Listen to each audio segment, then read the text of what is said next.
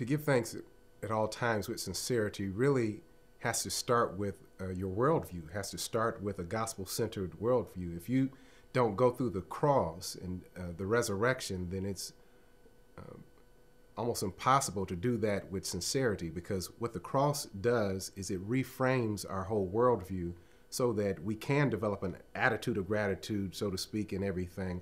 But more importantly, we look at things through the lens of eternity and through the lens of the completed work of Jesus Christ. So, for example, the cross itself, that Friday was the most uh, heinous crime that ever has been committed in human history. It's a tremendous uh, miscarriage of justice. But now, from our perspective, we look back at it and call it Good Friday.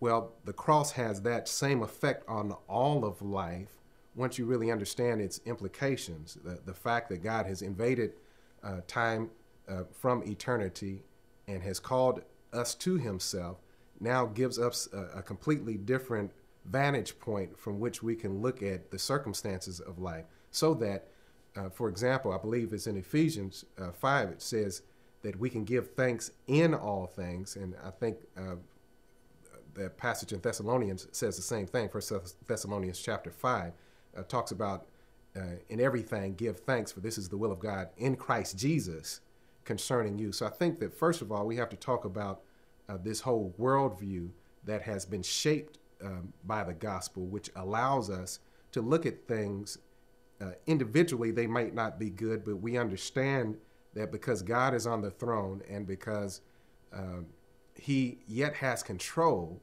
that we can give thanks, uh, first of all, because regardless of what's happening in our lives, we know that ultimately he is going to work it out so that we can be conformed to the image of Christ and so that He can get the maximum glory. So, within that context, we can give thanks for all things or we can give thanks in all things. I don't think that God, uh, by saying that, I don't think that God requires us to be thankful for every negative thing that happens. In other words, uh, recently there's been tremendous human tragedies with earthquakes, with tsunamis, with cyclones, and so on and so forth. So I don't think per se that we give thanks for an earthquake or we give thanks for a cyclone. I believe that, however, within the framework of God's sovereignty, we can be uh, grateful, you know, for the small things that might have come out those situations in terms of the people's lives who were saved, because all of those situations could have been worse.